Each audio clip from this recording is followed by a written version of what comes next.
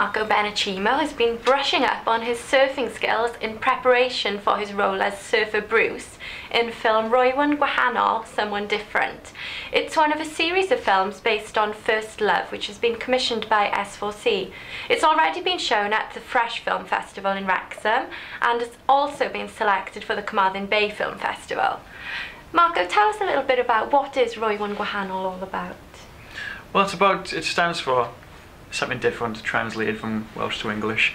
And it's just about a few minutes short of the first kind of kindlings of true love and, and possibilities of love or, or some kind of meeting someone different and someone who shares the same experiences and interests as you and, and, and how that feels and how special that is and, and how precious it is. And, and uh, yeah. So you play a surfer character in this film.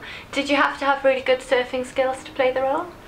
I have a lot of tolerance for waves and for currents and the fight of those and, and to kind of fight the weather conditions. I had to have some beginner knowledge of at least of what it was like to do surfing and I had to do a few scenes of surfing and paddling and uh, treading through the water. So yeah, there's a lot of uh, you know. It's uh, I was kind of thrown into a situation where I had to kind of know what I was doing to some degree, but it was nothing too strenuous, but it was still all, uh, it all paid off. All the training in the meantime and all the uh, extra little things I did to improve balance and, and technique and stuff all paid off in the end. So do you feel like a confident surfer now? I do, yeah. I feel I could be better, and I, I could uh, I could uh, try for the Olympics or the other competitions, or I have to not that standard, but I could, uh, you know, I'm room to improve, I guess.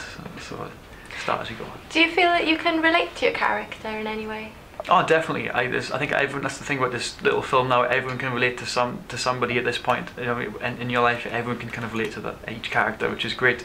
And I definitely relate to the Bruce character because he's someone who I've been in that situation and in that situation where I've met people through being in the same interests and in the same situations where you like the same things and yeah, it's it's, it's a nice nice thing and it's something it's a nice connection. So the film itself has been written and directed by a young and up-and-coming filmmaker, Jed Darlington Roberts.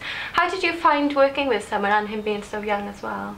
Well, Jed's a little mastermind in, at heart. You know, he's uh, someone who's got uh, he has a vision and he goes with it, and he's not afraid to do that. And and boy, as uh, as young as he is as well, with that, with that vision and that kind of drive and determination is a good thing, and it's a, it's a positive influence on young filmmakers and aspiring people in Wales to show yeah you can you know you have a vision you want to go with it and you, you have an idea you can you know you can you can do things you can you can make it happen and I think it's you got a positive uh, you should make a lot of people uh, believe in themselves as well.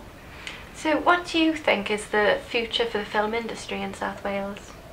I think it's one of those things that's it's kind of growing and it's slowly getting bigger and bigger. You've got all these little productions that's sort of happening in the in the midst and uh, hidden away and, and it's kind of one of those things where we could do more uh, and we should be doing more and for someone like S4C as well, they, sh they should have more things uh, and youngsters bringing out different stuff and things aimed for that and, and chances and opportunities for actors and, and directors, writers to do that and to kind of to showcase their abilities. So this little show now should hopefully, it should be the start of more things I guess to come. Mm -hmm. Thank you, Marco.